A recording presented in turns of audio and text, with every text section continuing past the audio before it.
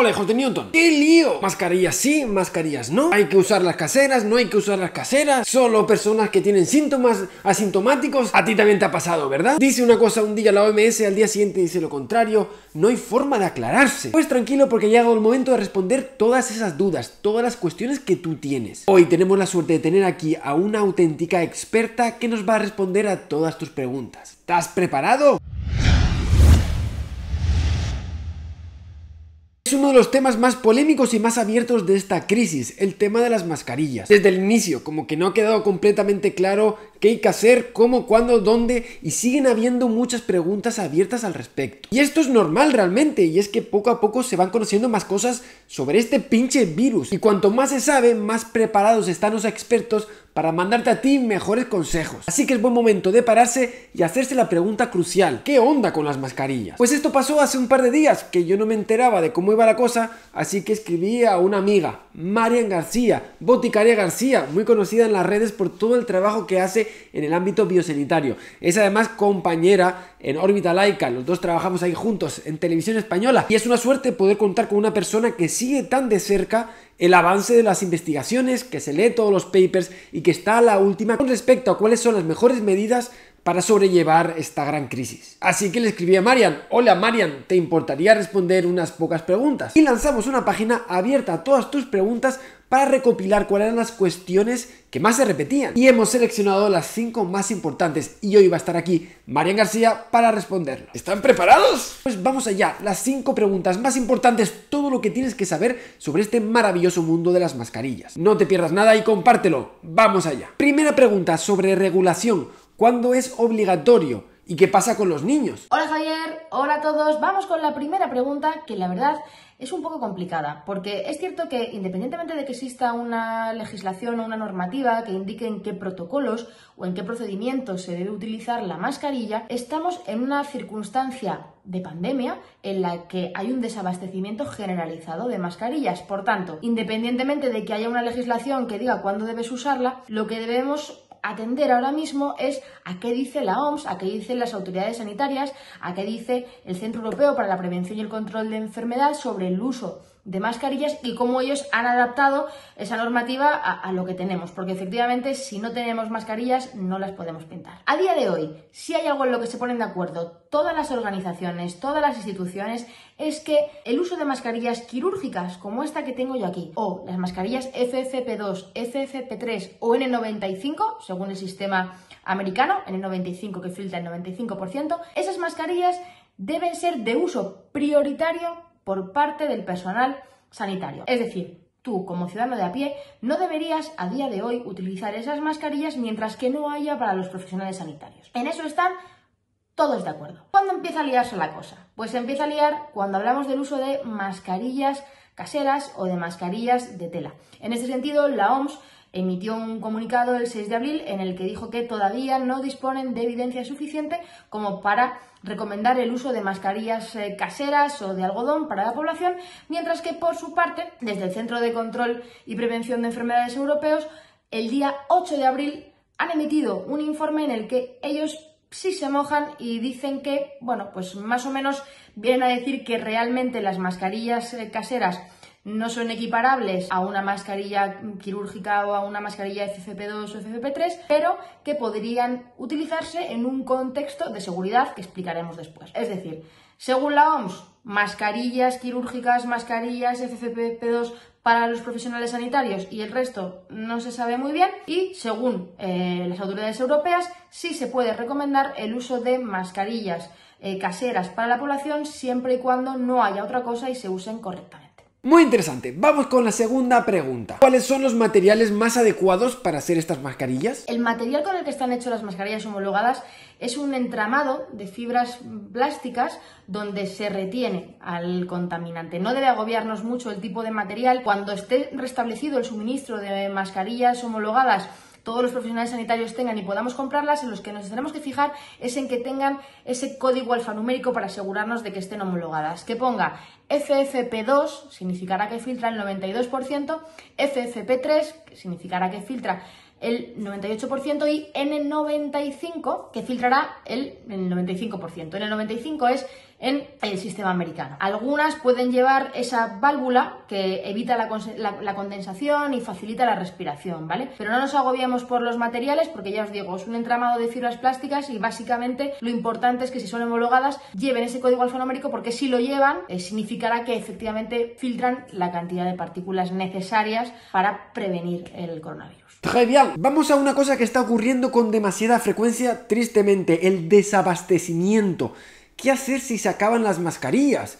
¿Es seguro hacer mascarillas caseras? Y en ese caso, ¿cuáles son los materiales más recomendables? Mundo mascarilla casera, vaya melonazo acabas de abrir, Javier. Esa es la pregunta del millón. Y desde el Centro Europeo para la Prevención y el Control de Enfermedades, en ese documento del 8 de abril, lo que indican es que efectivamente las mascarillas caseras nos pueden dar una falsa sensación de seguridad y nos advierten de que no nos creamos Superwoman o Superman, no lo dicen así, pero ese es el resumen, porque el hecho de usar esas mascarillas no evita que tengamos que seguir utilizando las medidas habituales de estar en la cola del súper a dos metros de otra persona, lavarnos las manos como si no hubiera un mañana, estornudarnos en el codo y no tocarnos la cara. Es decir, son un complemento y lo llaman así, un complemento. ¿Vale? También indican que hay que saber ponérselas y quitárselas correctamente. Luego lo veremos. ¿Por qué si pueden generar esa falsa sensación de seguridad, ellos dicen mejor usarlas en el caso de que no tengas nada? Bueno, pues porque sí tenemos cierta evidencia de que hay materiales que pueden filtrar entre el 50 o el 70% de eh, las partículas. Por ejemplo, un material como la seda, como esta, podría filtrar en torno a un 50%, ¿vale? La seda no es de los que más filtran. Pero sin embargo, una aspiradora, una funda de una aspiradora, quiero decir, la bolsa de la aspiradora, eh, parecida a los filtros de café que también se usan, podrían filtrar mucho más. Y un material que tenemos todos en casa, una camiseta como esta, que es de mi hijo, esta camiseta podría filtrar hasta un 70%. No todas las camisetas son iguales, pero se ha visto en estudios que hasta un 70% en camisetas de algodón que lleven mezcla. Y es muy gracioso porque desde los CDC eh, tienen montado un tutorial para cómo hacer una mascarilla con una camiseta. Y es fácil, no hace falta sacar la máquina de coser. Cogemos la camiseta, cortamos la parte de abajo de manera que nos queda una banda y cortamos la banda de manera que nos quede un rectángulo. Y en ese rectángulo como este, recortamos, hacemos una U por un lado y otra U por otro, veis qué cosa más sencilla. Si dejamos la parte de abajo que está cosida, puede servirnos como refuerzo para la parte de la nariz, abrochamos arriba, abrochamos abajo y efectivamente una mascarilla como esta no es una quirúrgica, no es una FFP2, no es una FFP3, no filtra el coronavirus como estas mascarillas, pero sí puede retener una cantidad de partículas y si estornudamos, ¡achos! Las partículas se quedan al otro lado, son menos que si yo realmente hubiera estornudado diciendo ¡Achus! Es algo muy simple, es algo muy básico, pero ante circunstancias desesperadas como las que podemos tener ahora, hay que recurrir a ese tipo de sistemas y es curioso que eh, algunos organismos oficiales se animen a dar este, este tipo de, de, tutoriales. Así que ya sabéis, una camiseta que tengáis por casa, si sois más apañados, en el CDC también tenéis un tutorial para hacerlo con máquina de coser, pero yo de coser no tengo ni idea. Magnific. Vamos con la cuarta, que también es muy interesante. Tenemos esa mascarilla que ya hemos usado.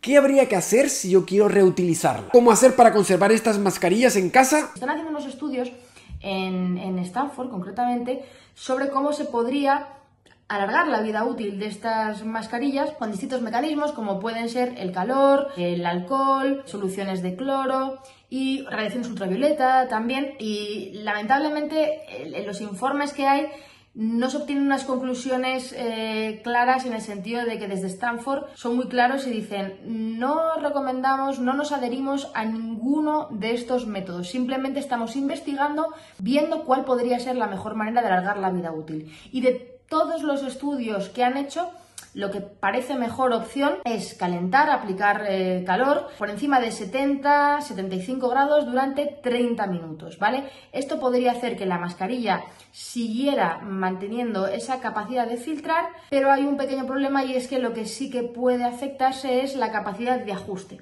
¿vale? Ese fit se puede estropear con el calor. Pero hay algo en lo que sí están muy muy de acuerdo todos y es que estos métodos de calor en un horno o en vapor deben hacerse siempre en el entorno profesional. Nunca, nunca, nunca, nunca en un horno casero, ¿vale? Como el que tengo yo aquí. No tenemos que hacer mascarillas al vapor, como lubinas al vapor o salmones al vapor. Las mascarillas, en el caso de aplicarse calor, deben siempre, siempre aplicarse en el entorno de trabajo. Son muy serios con esto para que nadie acabe cogiendo mascarillas contaminadas y las lleve a sus domicilios, ¿vale? Entonces, nosotros en nuestro, en nuestro caso, que no tenemos mascarillas de ese tipo, eh, no deberíamos eh, jugar a, hacer experimentos y si tenemos mascarillas eh, como esta que os acabo de enseñar, hecha con una camiseta, la manera de lavar ese tipo de mascarillas sería simplemente en la lavadora. En la lavadora a entre 60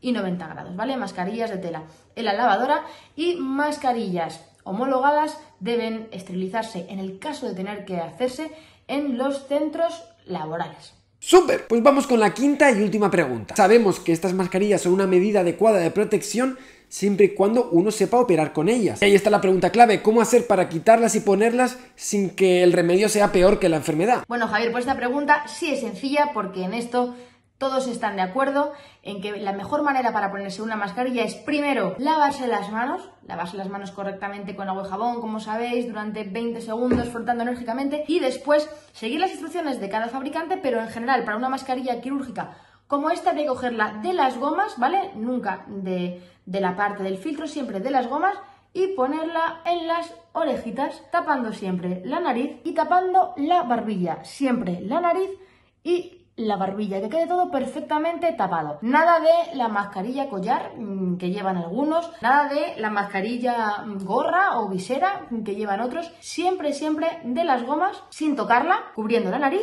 y cubriendo la boca. A la hora de quitárnosla, siempre tendríamos que lavarnos las manos, de nuevo, otra vez, y nunca hacer lo que hace mucha gente, se lleva las manos a la boca y la retira. ¿Por qué? Porque esta mano, con la exhalación, con la humedad, las gotitas que hay aquí, este virus podría irse repartiendo por otros lugares, por los pomos de las puertas, por los ascensores, si no nos lavamos las manos. Así que para retirar la mascarilla, cogemos con las dos manos de la goma, la retiramos y fuera. En este caso, que es de un solo uso, la tiraríamos, ¿vale? En el caso de una mascarilla de tela, a la lavadora, como habríamos comentado anteriormente. Esta mascarilla, por cierto, las quirúrgicas, veis que en la parte de arriba tiene una parte de metal que es más dura, tenemos que buscar cuál es la parte de metal, porque esa parte de metal es la que está pensada para que se nos ajuste a la nariz, ¿vale? La parte de metal arriba y la que no lleva metal abajo.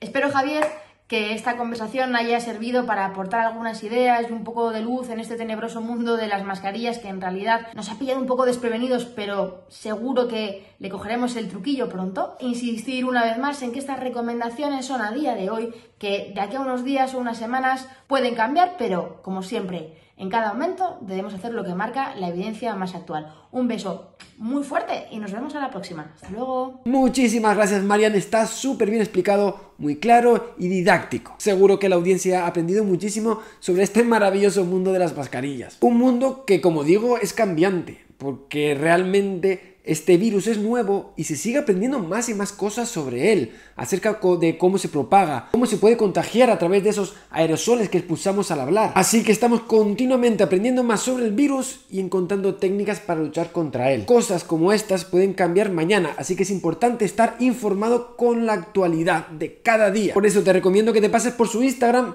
por Boticaria García que ahí está la última hora y nunca te vas a perder nada. Es información fiable. Apúntatelo como página que no te puedes perder en tu revisión diaria. Pues muchas gracias Marian. Todos los hijos de Newton ya saben cómo utilizar estas mascarillas con respecto a esta propagación de este maldito virus. Pues esto ha sido todo compañeros. Espero que les haya gustado este vídeo y sobre todo que les haya sido muy útil. Cuídense mucho y protéjanse y también a todas las personas que están con ustedes. Pues esto ha sido todo, me despido sin más. Dale mucho coco y estudia que quizás seas tú el próximo Isaac Newton. Nos vemos como siempre en el próximo vídeo. Piratilla.